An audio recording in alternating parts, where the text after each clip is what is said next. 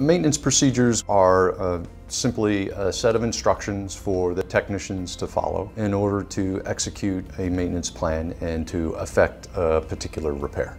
Maintenance procedures are important in the industry. Many of our members, customers are in the oil and gas, power generation, nuclear industry, pipeline industry, and they do a lot of field maintenance to maintain their infrastructure and their assets. And being able to perform maintenance effectively gives us that license to operate because machines break, they wear, and they need to be replaced and maintained in order to maintain safe operations. Right now, robotics has been a growing solution for inspection. The result of the inspection usually will dictate that some maintenance will have to happen when there's corrosion found, cracks found, other issues that have to be addressed. The adoption of the robots to now do maintenance work is the next phase to take personnel out of hazardous environments. It's important to introduce automation into our maintenance practices because we see there are certain things that computers and automation do very well. The robots that do inspection right now are being used to do maintenance, do work, to do repair. Mobile robots now are being used to help vacuum out sludge or debris from oil